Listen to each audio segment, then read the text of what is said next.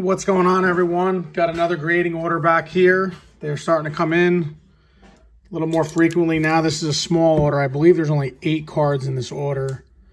Uh, I really have no idea what's in here. Uh, I forget what I sent. And I think there's a Devin Booker rookie in here and um, a Siakam rookie. Not, nothing nothing earth-shattering, just like I think hoops or threads rookies.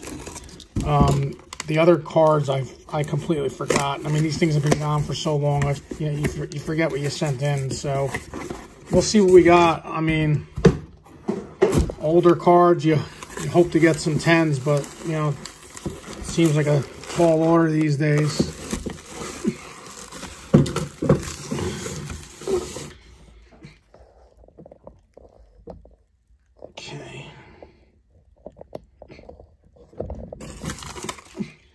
All right, here we go.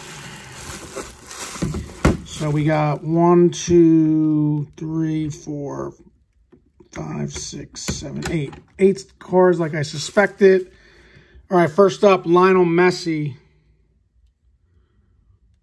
Looks like a Donruss, 16-17 Donruss card.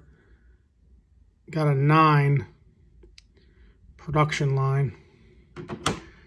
And then Romelu Lukaku die cut at a 35. Die cuts are hard.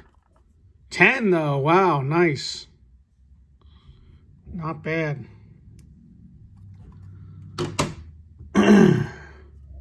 Kobe Bryant, rookie here. Upper Deck uh, collection. Definitely not expecting a 10 on this. Would be thrilled with a 9. Probably get an 8.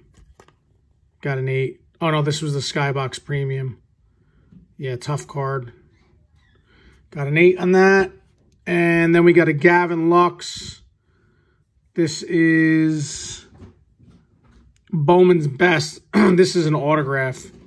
So this is his first prospect autograph on this. 10, nice, very nice. All right, we'll take that. Gotta hope he starts playing now. Sebastian Aho. Uh, Future Watch Auto. 10. Very nice. Very happy with that. One of the best players in hockey.